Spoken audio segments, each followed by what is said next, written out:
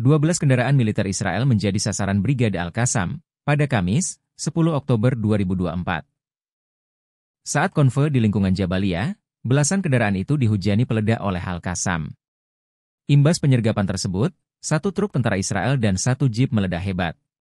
Dilansir dari tribunnews.com, hal itu telah dikonfirmasi oleh Brigade Al-Qassam dalam sebuah pernyataan di Telegram.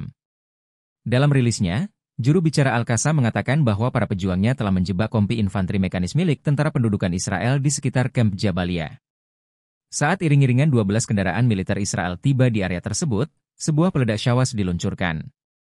Brigade Al-Qassam mengklaim ledakan itu menyambar sebuah truk yang mengangkut tentara Israel dan sebuah jeep lainnya. Akibat penyergapan tersebut, seluruh tentara yang ada di dalam truk tersebut tewas terbakar hidup-hidup. Al-Qassam juga mengatakan bahwa sejumlah tentara berupaya melarikan diri dalam penyergapan tersebut. Namun pasukannya berhasil mengejar para tentara Zionis dan melenyapkan tentara yang tersisa dari jarak 0 km menggunakan senjata murah. Al-Qassam juga mengklaim telah meledakkan dua tank Zionis dalam penyergapan itu. Download Tribun X sekarang, menghadirkan lokal menjadi Indonesia.